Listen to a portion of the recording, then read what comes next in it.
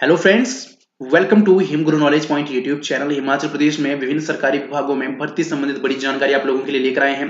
उससे पहले आप सभी से एक रिक्वेस्ट है कि अभी तक आपने हमारे चैनल को सब्सक्राइब नहीं किया है तो कृपया करके हिमाचल प्रदेश की हर छोटी बड़ी लेटेस्ट जॉब के अपडेट के लिए अभी सब्सक्राइब ज़रूर कर दीजिएगा। आपको बताते चले कि ये अपकमिंग जॉब्स रहने वाली है और कुछ ही मंथ में जो है ये फिलअप की कर दी जाएँगी। और इसलिए आप लोग जो है वो पहले ही इसके बारे में जान लीजिए ताकि आप जो अच्छे से प्रिपरेशन इसकी कर पाए। इसमें हम योग्यता भी जानेंगे सैलरी पैकेज चयन प्रक्रिया, क्या कुछ सिलेक्शन प्रोसीजर रहती है एज लिमिट क्या रहती है एलिजिबिलिटी क्राइटेरिया जो कुछ इंपॉर्टेंट बेसिक डिटेल्स रहने वाली है, ठीक है? ये सभी जॉब्स जो है वो कॉन्ट्रैक्ट बेसिस पे हैं, इसीलिए आपको पहले बता देता हूँ। सबसे पहले जो है, हिमाचल प्रदेश फॉरेस्ट डिपार्टमेंट यानी वन विभाग में जूनियर ऑफ़िस असिस्टेंट की। आपको बताते चले कि कैबिनेट मीटिंग में जो है, इसको मंजूरी मिली है तो ऐसे में कुल पोस्ट इसकी एक सौ उनतीस है। ठीक है 129 पोस्ट यहाँ पे है। एजुकेशन क्वालिफिकेशन इसकी प्लस टू ही है। सिलेक्शन प्रोसेस की बात करें तो रिटर्न एग्ज़ाम आपका कंडक्ट करवाया जाएगा। और कॉन्ट्रैक्ट बेसिस पे है। इस पे आपकी टाइपिंग स्पीड आपकी होनी चाहिए। डिप्लोमा आपका इसमें रिक्वायर्ड नहीं है। इसीलिए जो है, अगर आप प्लस टू है तो आप इसकी प्रिपरेशन अभी से करना स्टार्ट कर दें।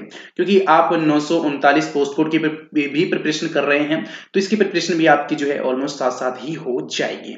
तो ये तो हमारे पास हिमाचल प्रदेश वन विभाग यानी forest department junior office assistant की रही। इसके अलावा अगर हम बात करें तो आपके पास जो है, जो हिमाचल प्रदेश कृषि विश्वविद्यालय यानी एग्रीकल्चर यूनिवर्सिटी है, उसमें जेओए पीएन चौकीदार और अन्य जो पद रहते हैं क्लास फोर्थ के पद जो अन्य रहते हैं चौकीदार के साथ, कुल मिलाकर जो है इक्यासी पद जो है यहाँ पर भरे जाएँगे। इसके लिए जो है वो भर्ती प्रक्रिया शुरू भी कर दी गई है कृषि विश्वविद्यालय द्वारा। आपको बताते चले एजुकेशन क्वालिफिकेशन इसमें जेओए के लिए आपके पास बारहवीं रहने वाली है। बाकी जो आपके पास पीएन के लिए रहने वाली है, वो टेंथ रहने वाली है। चौकीदार की बात करें, चौकीदार के लिए आपके पास जो है वो टेंथ रखी गई है। एट्थ भी आपके पास यहाँ पे रख सकते हैं मिडिल जो क्लास है। इसके अलावा जो अन्य यहाँ पर क्लास फोर्थ की पोस्ट रहने वाली है, उसके लिए भी आठवीं से दसवीं जो है आपकी योग्यता रहने वाली है। सिलेक्शन प्रोसीजर की बात करें तो सिलेक्शन प्रोसीजर भी यहाँ पर आपका रिटर्न एग्ज़ाम ही रहने वाला है। बट ये जेओई के लिए रिटर्न एग्ज़ाम रहने वाला है, बाकी जो क्लास फोर्थ की वैकेंसीज है, उसके लिए आपके लिए जो है मे भी इंटरव्यू कंडक्ट करवाया जा सकता है। ऐसी कुछ यहाँ पे नोटिफिकेशन आ रही है कि इंटरव्यू ही इसके लिए कंडक्ट करवाया जाएगा। क्योंकि आपको बताते चले कि अभी हिमाचल प्रदेश कृषि विश्वविद्यालय में जो है अन्य पदों पर भी भर्तियाँ हुई थी, उसमें भी मैक्सिमम जो है, वो इंटरव्यू बेसिस पे यहाँ पे सिलेक्शन हुई थी तो ऐसे में इसमें इसमें भी जो इंटरव्यू करवाया जा सकता है। ठीक है?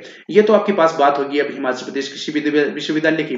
इसके अलावा बात कर लेते हैं हम हिमाचल प्रदेश बिजली विभाग में, ठीक है? हिमाचल प्रदेश बिजली विभाग की बात करें तो तकरीबन एक हज़ार से ज़्यादा पद इसमें भरे जाएँगे। अब ये जूनियर टीमेट के हैं टीमेट हेल्पर जो भी इसमें रहते हैं, उन सभी के भरे जाएँगे। और साथ में आपको बताते चले कि जेई के भी भरे जाएँगे। और जो आपके पास असिस्टेंट इंजीनियर यानी एसडीओ होते हैं, उनके भी यहाँ पर जो है वो पद भरे जाएँगे। तो कुल मिलाकर जेई एसडीओ साथ में टीमेट जूनियर टीमेट और जो हेल्पर रहते हैं या फिर आपके पास इलेक्ट्रिशियन इन सभी तरह के जो भी पोस्ट रहती है, वो एक हज़ार से ज़्यादा पद जो है बिजली विभाग में भरे जाएँगे। अभी जो है ज़्यादा ज़रूरत है, आप जानते ही हैं क्योंकि विंटर सीज़न में हिमाचल प्रदेश में काफ़ी ज़्यादा जो रिक्वायरमेंट रहती है बिजली विभाग की। तो ऐसे में जो है, वो जल्द से जल्द जो है ये भर्ती प्रक्रिया जो है, वो बिजली विभाग में पूरी कर ली जाएगी। इसके लिए जो है भर्ती प्रक्रिया शुरू भी कर दी गई है। तो ये दो दो तीन डिपार्टमेंट मैंने जो आपको बताए, इसके लिए आप जो अभी से प्रिपरेशन करना स्टार्ट कर दे और अभी से आपको जानकारी जो है मैंने दे दी गई है। आप जो है इसके लिए सतर्क रहे, जैसे इसके लिए ऑफिशियल नोटिफिकेशन जो है आउट होगी। हम वो भी आपको जो है पूरी अपडेट देंगे। तब तक के लिए हमारे चैनल के साथ बन रही सब्सक्राइब ज़रूर करके जाइए, साथ में वीडियो को लाइक और शेयर भी ज़रूर करिए। धन्यवाद। जय हिंद, जय हिमाचल।